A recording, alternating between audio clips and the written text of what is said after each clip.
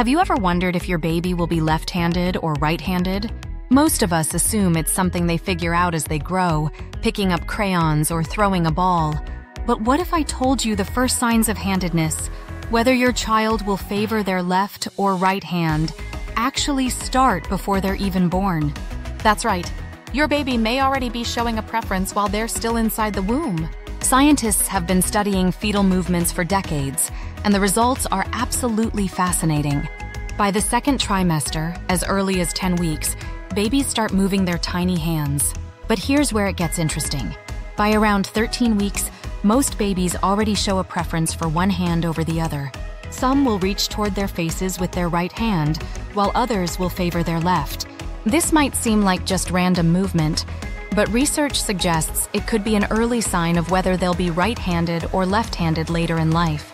One study used 4D ultrasounds to track fetal hand movements and compared them to the children's handedness years later. The results? Most of the babies who consistently reached with their right hand in the womb grew up to be right-handed, and the same pattern held for lefties. This discovery has completely changed what we thought we knew about handedness. It's not just about genetics or learned behavior.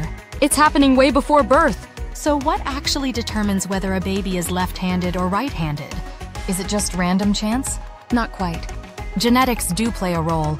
If both parents are left-handed, their child is more likely to be left-handed too. But scientists believe there's more at work here.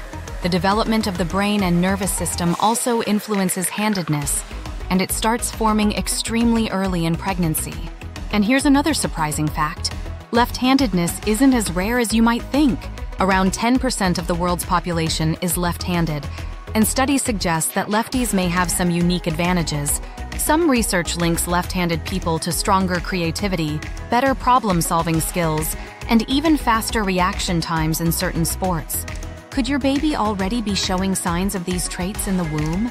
But what if your baby moves both hands equally? Does that mean they'll be ambidextrous? Possibly. Some babies don't show a strong preference until after birth, and a small percentage of people naturally use both hands with equal skill. While handedness is fascinating on its own, it can also be an indicator of how the brain is developing. Doctors sometimes look at early hand preference as a clue about neurological development, but don't worry if your baby seems to switch hands a lot. Many babies take time to settle into a dominant hand, and that's completely normal. So the next time you feel those tiny movements inside you, pay attention. Your baby might already be showing you which hand they'll use to write, draw, and wave at you in the future. If you found this interesting, don't forget to like, share, and subscribe for more incredible insights into your baby's development. And let me know in the comments, are you left-handed, right-handed, or ambidextrous? I'd love to hear your thoughts.